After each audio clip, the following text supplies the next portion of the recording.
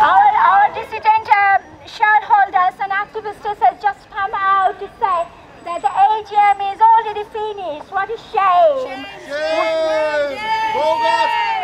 Bogus GCM! Bogus! They have only office and chair table. Bogus! Fraud, cheat company!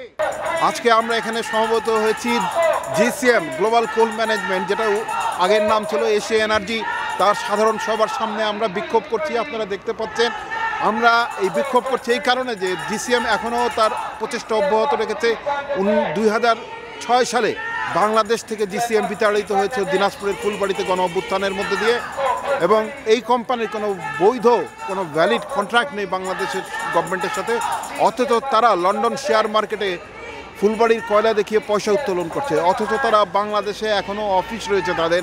তারা বাংলাদেশে যারা ওই স্থানীয় জন- জনগণ যারা প্রতিরোধ করছে ফুলবাড়ি কয়লা উত্তোলনের বিরুদ্ধে, তাদের বিরুদ্ধে গ্যারি লাই এই সিও এই কোম্পানির, তিনি মামলা দায়ের করেছেন স্থানীয় জনগণকে হয়রানি করছেন। আমরা বাংলাদেশ সরকারকে স্পষ্ট দাবি করতে চাই, বাংলাদেশ থেকে জিসিএমকে বহিষ্কার করতে হবে। সকল ধরনের হয়নারি নিপীড়ন বন্ধ করতে হবে, সকল মামলা প্রত্যাহার করতে হবে এবং বাংলাদেশে জিসিএমকে নিষিদ্ধ গঠন করতে হবে। আজকে এখানে সমবেত হয়েছে এই কোম্পানিটি ভুয়া কোম্পানি। এদের কোনো বাংলাদেশ গভর্নমেন্টের সাথে কোনো কন্ট্রাক্ট নেই। অথচ লন্ডন শেয়ার মার্কেটে বিক্রি, শেয়ার বিক্রি করছে। এটা একটা অফিস সর্বস্ব, কিছু চেয়ার টেবিল আছে আর এক- একটা ওই কোম্পানির নামে নাম রেজিস্টার্ড আছে। এবং তারা একটা ফলস কোম্পানি তাদের কোনো কিছুই নাই। তারা বাংলাদেশে এখন আবার চেষ্টা অব্যাহত রেখেছে। বাংলাদেশে তারা আবার ঢুকতে চায়, কাজ করতে চায়। আমরা আজকে স্পষ্ট দাবি করছি যে জিসিএমকে বাংলাদেশে নিষিদ্ধ করতে হবে, বহিষ্কার করতে হবে, সকল ধরনের কার্যালয়, অফিস বন্ধ করতে হবে এবং সকল ধরনের মামলা প্রত্যাহার করতে হবে। ধন্যবাদ। আপনারা জানেন যে আর একটু বলছি যে, আপনারা জানেন যে এই প্রকল্প বাস্তবায়িত হলে ওই এলাকার প্রায় দুই লক্ষ মানুষ, পঞ্চাশ হাজার আদিবাসী সহ ওই এলাকা থেকে উচ্ছেদ হবে।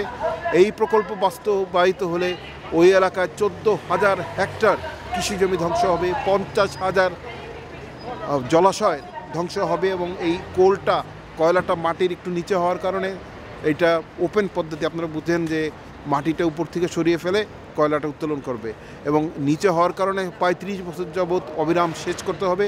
অবিরাম সেচের ফলে বিশ, পনেরো থেকে বিশ, পঁচিশ মিটার পর্যন্ত পানির স্তর এখানে নেমে যাবে।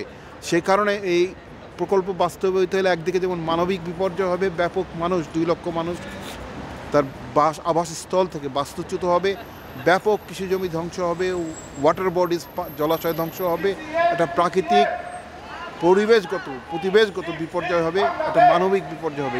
এই কারণে ইউনেস্কো এই প্রকল্পের তীব্র বিরোধিতা করেছে এবং বলছে এই প্রকল্প হলে একটা বিরাট ধরনের মানবিক বিপর্যয়, একই সাথে একটা প্রাকৃতিক বিপর্যয় হবে। সো আসুন আমরা এই প্রকল্পের বিরুদ্ধে উন্মুক্ত পদ্ধতিতে দিনাজপুরে কয়লা উত্তোলনের বিরুদ্ধে রুখে দাঁড়ায় আমরা সরকারকে স্পষ্টভাবে বলি যে এই প্রকল্প কোনোভাবেই বাস্তবায়ন করা যাবে না। ধন্যবাদ সবাইকে।